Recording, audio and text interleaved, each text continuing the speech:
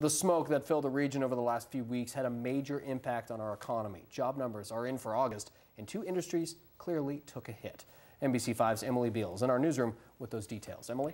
Craig, today I spoke with regional economists who tell me that jobs in the leisure and hospitality industries went down in August.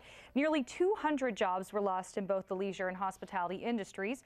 Regional economist Guy Tauer told me that typically employment spikes in July, but this large of a drop in August is unusual. Tauer says Mother Nature may be to blame.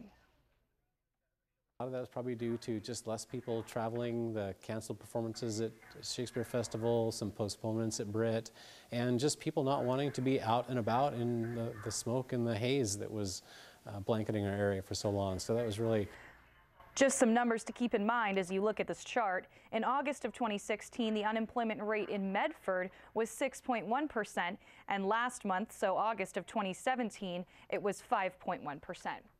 Tauer says that he anticipates the amount of jobs in the hospitality and leisure industries will increase this month of September. Live in the newsroom, Emily Beal, NBC5 News.